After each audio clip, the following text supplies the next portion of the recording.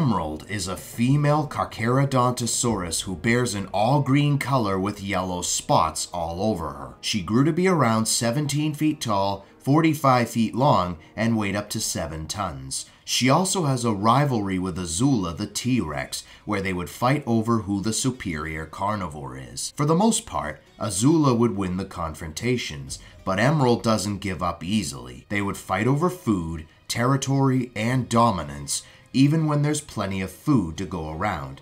Despite their rivalry, the two predators have teamed up to fight greater threats before. One day, an Acrocanthosaurus by the name of Hunchback stepped out of line and Azula and Emerald had to team up to bring him down. Emerald does have her redeeming moments too, despite being more villainous than her Tyrannosaurus rival. She inadvertently saved a group of humans from a hungry Carnotaurus while they were trapped on Nublar. Emerald also fended off an Allosaurus while it was trying to hunt Gallimimus. Emerald may be a villain, but she knows the difference between right and wrong.